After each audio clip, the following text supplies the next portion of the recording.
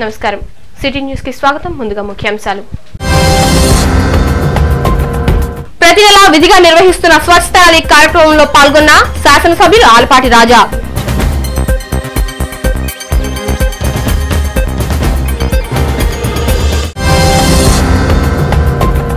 ఏఎంజే సంస్థ ద్వారా నాలుగు వందల మంది నిరుపేద రోగులకు నిత్యావసర సరుకుల పంపిణీ.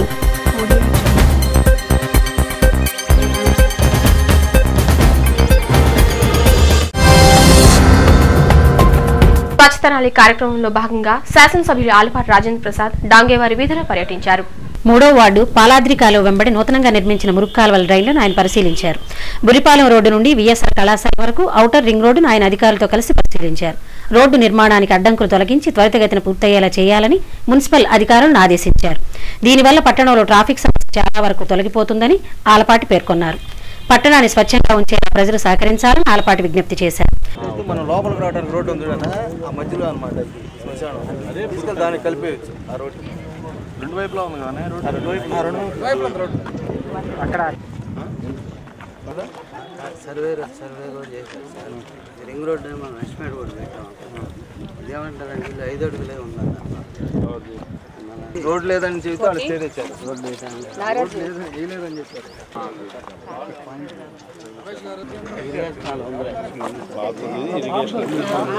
అన్ని ఎట్లా వస్తున్నాయి ఈ ఇళ్ళలో సైడ్ వచ్చేసి. ఇటు పక్కన. ఇళ్ళలో. ఈ రోడ్డు అనుకుంటా కదా. వేసేయండి ముందల రోడ్డు తొలుత స్వచ్ఛ భారత్ ప్రతిజ్ఞను అధికారులు పార్టీ కార్యకర్తలతో కలిసి ఆలపాటి నిర్వహించారు. అనంతరం ఆర్డీఓ జి నరసింహులతో కలిసి మొక్కలు నాటారు. ఈ కార్యక్రమంలో municipal commissioner K Shakuntala assistant commissioner Vijayasai MHO doctor Ramana పలువురు కౌన్సిలర్లు పార్టీ నాయకులు ఖుద్దూష్ అశోకవర్ధన్ ఈదర శ్రీనివాసరావు తదితరులు పాల్గొన్నారు. ఈ జయంతి సందర్భంగా రెండు వేల పద్నాలుగులో ప్రారంభించబడిన ఈ యొక్క పచ్చదనం పరిశుభ్రం కార్యక్రమాన్ని మేము కొనసాగిస్తూ ఉన్నాం ప్రతి నెల కూడా. కొన్ని కొన్ని మార్పులు చేసుకుంటూ వెళ్తూ ఉన్నాం. గతంలో పాలాద్రి కాలువ పాలాద్రి కాలువలో మురుకు నీళ్ళు కూడా కలుస్తున్నాయనే భావం ఉండేది గతంలో. అట్లా కాకుండా సాగునీటిలో మురుగు నీళ్ళు కలవకుండా చూస్తూ ప్రత్యేకంగా వాటికి వేరే కాలువలని పెట్టుకుంటూ రెండోది ఈ మురుగునీటి కాలువలలో ప్రవహించే మురుగుని కూడా శుద్ధి చేసి అతి తొందరలో పంట కాలువలకి పంట నీరుగా ఉపయోగపడేలాగా చేయాలనేది మా సంకల్పం. ఎందుకంటే ఈ రోజున చంద్రబాబు నాయుడు గారు ప్రతి నీటి బొట్టుని ఒడిసి పట్టుకోమని చెప్పి ఆయన యొక్క నినాదం. అందుకనే ఏ ఒక్క చుక్క నీరు కూడా వృధా పోకూడదు. నీటిని నేలలో ఇంకేలాగా చూడాలి. ఇంకా నీటిని పంట పొలాలకు ఉపయోగపడేలా చేయాలనేది మా సంకల్పం. అందుకనే కోటింగ్ ఫైనాన్స్లో కొన్ని సీఎం కాలనీ వైపు ఒక సెప్టేజ్ ట్యాంకు ఇటు కూడా ఒక సెప్టేజ్ ట్యాంకు మేము పెట్టగలిగితే బ్రహ్మాండంగా అమృత్ స్కీమ్లో రెండో విడత అమృత్ స్కీమ్లో కూడా ఆ సెప్టేజ్ ట్యాంక్స్ని డ్రైనేజీ దీంట్లో భాగంగా దాన్ని డెవలప్ చేస్తాం. చెంచుపేటలోని కేంద్రీయ విద్యాలయంలో ఒకటో తరగతిలో చేరదలిచిన విద్యార్థులు మార్చి పదిలోపు ఆన్లైన్లో దరఖాస్తు చేసుకోవాలని ప్రిన్సిపల్ ఎన్. చలపతి తెలియజేశారు. ఈ నెల ఎనిమిది నుంచి ఆన్లైన్లో దరఖాస్తును డౌన్లోడ్ చేసుకోవాలని పేర్కొన్నారు. రెండవ తరగతి నుంచి ఏడవ తరగతుల్లో ఏదైనా ఖాళీలు ఏర్పడితే ఏప్రిల్ ఐదు నుంచి వాటికి సంబంధించిన దరఖాస్తు ఫారాలు ఇవ్వనున్నట్లు తెలిపారు. రెండు వేల పద్నాలుగులో మన కోగండ్ శివయ్య హై స్కూల్లో మొదలుపెట్టాం. రెండు సంవత్సరాల నుంచి మేము అడ్మిషన్లన్నీ మీరు అప్లికేషన్లు పూర్తి చేసి మాకు ఇవ్వటం మేము వాటిని చూసి మేము సెలక్షన్స్ ఇవ్వడం జరుగుతోంది. కానీ ఈ సంవత్సరం నుంచి కేంద్ర ప్రభుత్వం వారు అప్లికేషన్లన్నీ ఆన్లైన్ చేశారు.